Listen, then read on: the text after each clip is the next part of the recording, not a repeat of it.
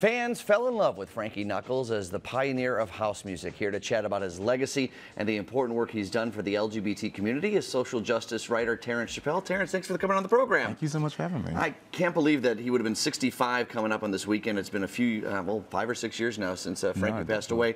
For those that don't know his legacy a little bit, uh, introduce us a little bit to Frankie Knuckles. Definitely. Well, this Saturday he would have been 65, and he is so Chicago. He is known as and coined as the godfather of house music. And his birthplace was at the Warehouse, which was established in 1977. And it's actually a 10 minute walk from here because mm -hmm. it was mm-hmm. located at 206 South Jefferson. And the Warehouse was like this underground club. And it became a hub and destination for LGBT people of color, particularly gay black men who were, you know, just kind of shut out of their households, who were kind of condemned from their communities.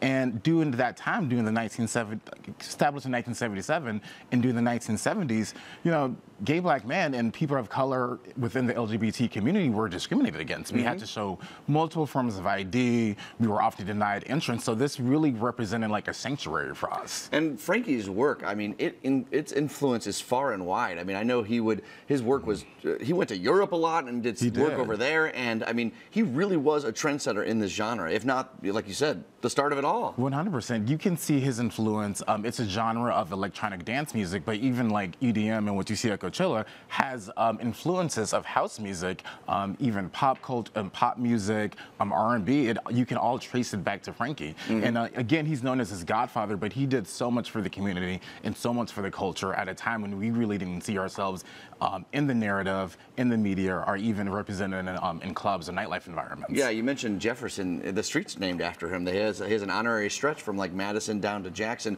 uh, where the club uh, once was. You, even in 2020, though, I think a lot of the things that he was pushing for, we could still look to him and uh, his, uh, the things that he did, providing safe spaces, not only for gay people, but uh, people of color as well. That is something that is still vitally important today. 100%, definitely. Um, it's, you know, we've made a lot of progress within the community, um, within the LGBT community at large. However, you do have reported incidents of, um, myself included, of not feeling very welcomed. Mm -hmm. and then Stonewall, which is a nonprofit based in the UK, did this study, and they found that 51% of LGBT people of color feel discriminated against um, within their own L local LGBT community. Which is shocking. It's supposed to be this welcoming, catch-all community for for people that um, don't have, you know, maybe have a different background, and it's supposed to be this welcoming place. Mm. But a lot of times it isn't. It isn't. And so again, we made progress, yeah. but that but that just tells us we need to continue to sustain these safe spaces, um, so people can uh, kind of because that's also where history thrives, and that's where you can kind of trace place where um, everything kind of begun as well. Yeah, we have this debate often: is our, gay bars going to be going away a little bit more as it becomes more socially acceptable to Ooh, be gay? Hope but, not. right, exactly. no, there's, no. there still are those spaces for people to be themselves. All right, so the 65th, his birthday, or would have turned 65 this weekend. A lot of events going on for it. There is. So, um, well, on Sunday, what's going on on January 19th at Rebuild Foundation, the Stony Island Arts Bank, um, located at 6760 South Stony Island,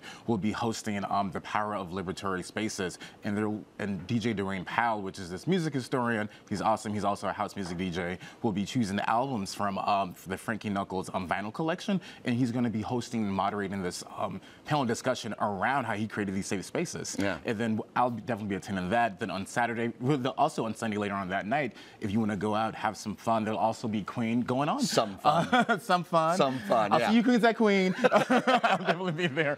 But um, and so that and so it's really going to be, and they're doing that in partnership with the Frankie Knuckles Foundation. I definitely want to mention them. They, um, the Frankie Knuckles Foundation does a lot of work to kind of globalize um, house music, but they also do a lot of research and um, and helping LGBT homeless um, kids, also diabetes, because we know for that's sure. where he um, passed away from, and also his AIDS research and prevention as well. Terrence, thanks for stopping by. I want to give the plug really quickly. If you're looking to join in on the conversation, celebrate the life of Frankie Knuckles, head over to rebuild-foundation.org. And before I toss it over to DJ Mustafa Rocks, family friend of yours, Frankie Knuckles, DJ. Yeah, he was a family friend. My brothers used to work at the power plant, and Frankie used to give me records all the time. Wow. And let me tell you, he did my mother's wedding, and when people found out Frankie was DJing her wedding, it was a line down the block to get into the reception. Wow. The biggest party in town that night. Yes.